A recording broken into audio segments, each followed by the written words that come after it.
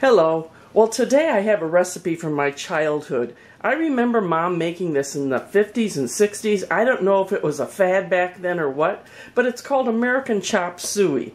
I also remember, I told you once, that my mom's spices consisted of salt, pepper, cinnamon, maybe sage, but in this there's soy sauce. So she also had soy sauce on hand. I'm proud of you, mom, living on the edge like that.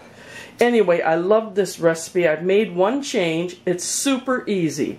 There is a pound of hamburger. There is one medium onion cut up. That's a little bit much. I might not use all that.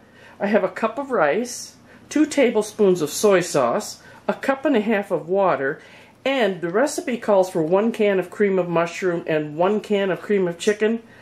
I've been using two cans of cream of mushroom. I like it a little moister than, than what it was. This is so easy. I'm going to brown the burger with the onion and we're just going to put it together and it's ready to go. As I'm browning my meat, I used maybe two-thirds of the onion. It was like a, a little bit larger medium onion.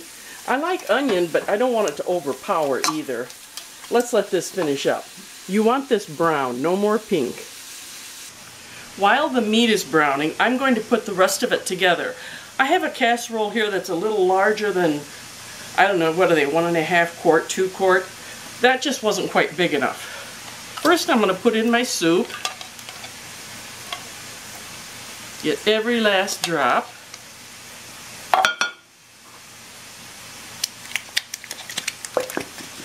I don't know if that's how you tell your mom went through the depression. You get every last thing out of the out of the soup can.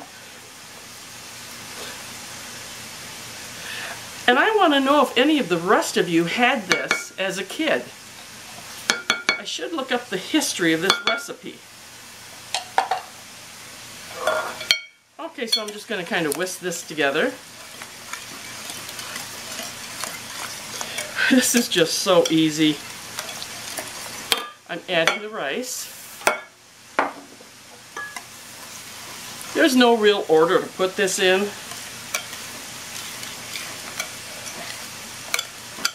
And I'm adding the soy sauce.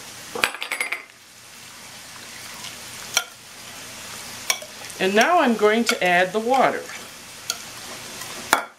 This is how you really know. You clean out your uh, soup cans that your mom went through the depression and taught you to waste not, want not.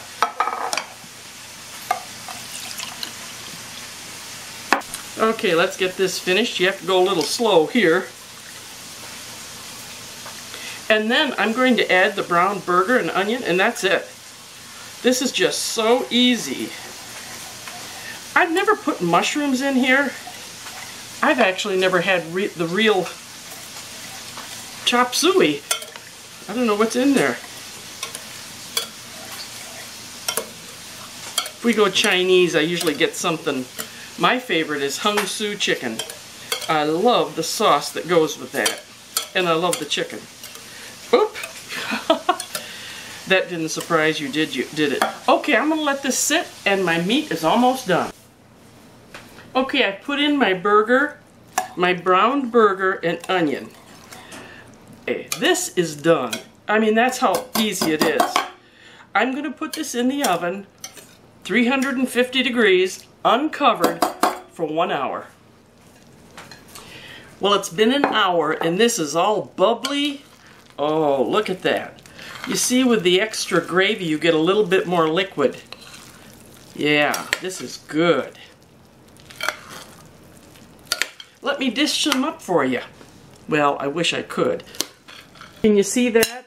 It's just a wonderful mixture of goodness, and it's so simple, so easy, very few ingredients.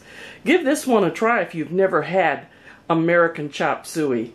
Till next time, bye-bye.